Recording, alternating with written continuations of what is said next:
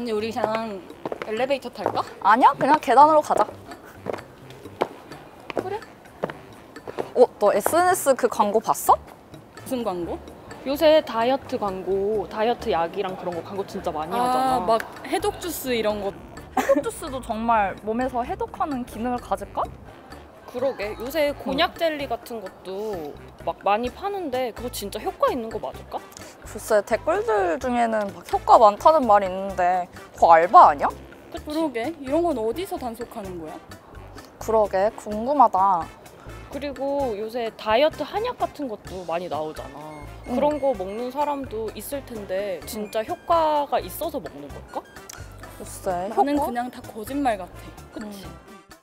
안녕하십니까 식품약품 안전처 사이버 조사의 한태희입니다. 과일 채소를 적정량 섭취하는 것이 건강에 좋다는 것은 보편적 사실입니다.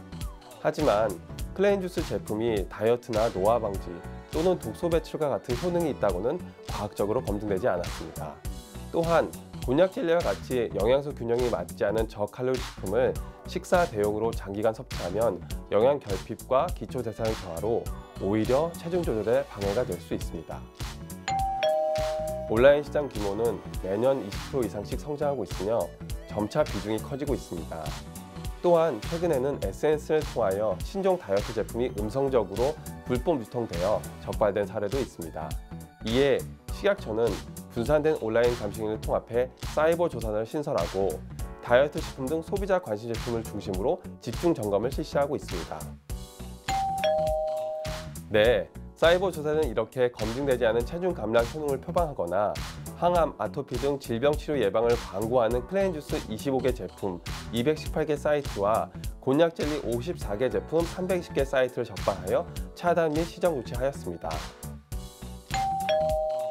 질병 예방, 치료 효과를 표방하는 여성 청결제, 건강식 식품 등 여성이 다소비하는 제품뿐만 아니라 낙태약, 다이어트 약 등 온라인으로 불법 판매하는 의약품도 함께 단속하고 있습니다. 또한 온라인 쇼핑협회, 홈쇼핑협회 및 공정위, 관세청 등 관계 부처와 협업하여 여성분들이 안심하고 식품, 의료 제품을 구매할 수 있도록 건전한 온라인 유통을 만들도록 하겠습니다.